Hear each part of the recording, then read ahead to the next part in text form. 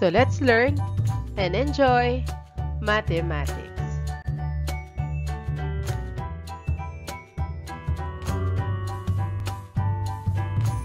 Let us solve problems involving inverse variation.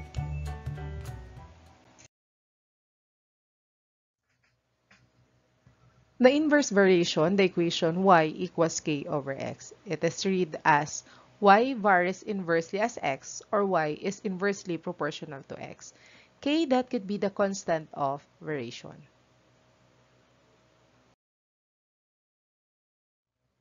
If we use the proportion, so this is the proportion, our formula, x sub 1 times y sub 1, it is equal to x sub 2 times y sub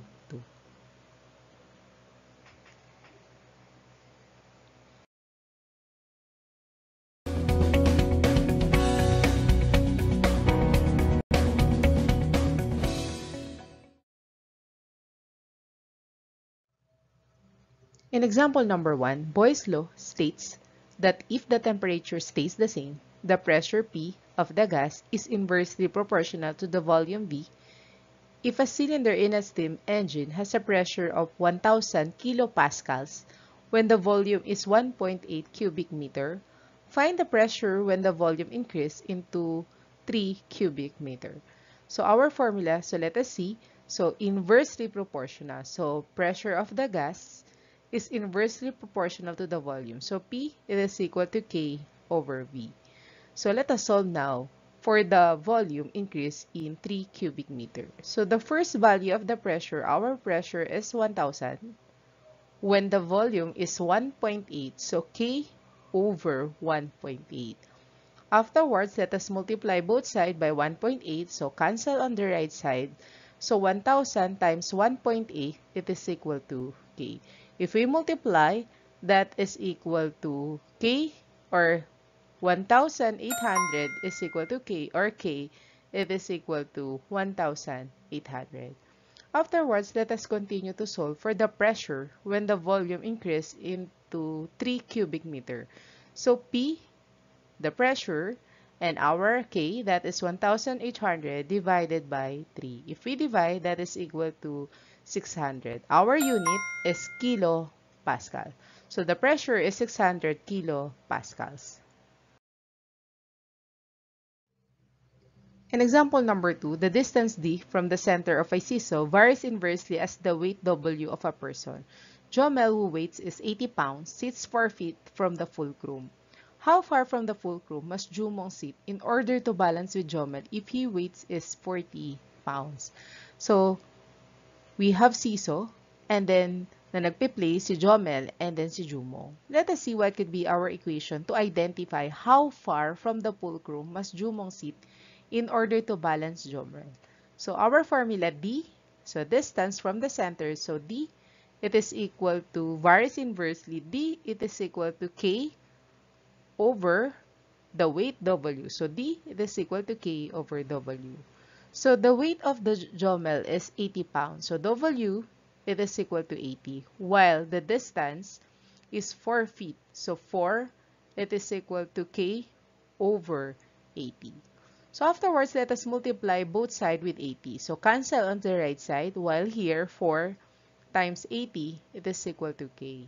So 4 times 80 is 320 equals K, or K equals 320.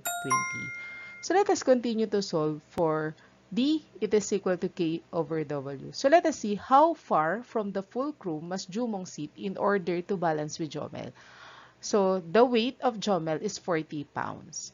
Our K is 320. So D, it is equal to 320 over 40. So it means let us divide 320 divided by 40. So D, that is equal to 8 feet. So far from fulcrum as Jumong seat, it should be 8 feet. Let us solve problem number 3. The rate r of a car varies inversely with the time t. On a fixed distance, it is recorded that the speed of the car is 60 kph. The time travel is 1.5 hours. Find the rate of the car that travels the given distance in 1 hour. First, we need to identify the formula. So r it is equal to inversely, so k over t. So r is equal to k over t. So we may use our formula r equals k over t twice because we have two value of r's or we may use the formula for the proportion r sub 1 times t sub 1 is equal to r sub 2 times t sub 2. This is our first value of r rate and time and this is the second value of time. The first value of the rate that is 60 kilometers per hour and then the time that is 1.5. Our rate is unknown and then our time that is equal to 1 hour. Afterwards, let us multiply 60 times 1.5 that is equal to 90.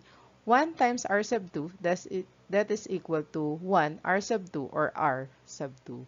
So, r sub 2 or the rate is equal to 90.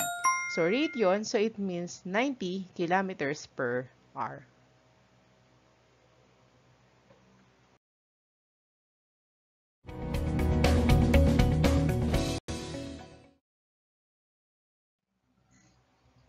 Instruction.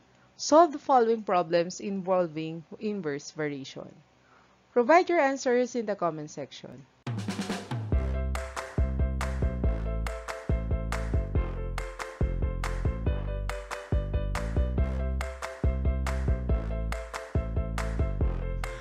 Enjoy learning mathematics.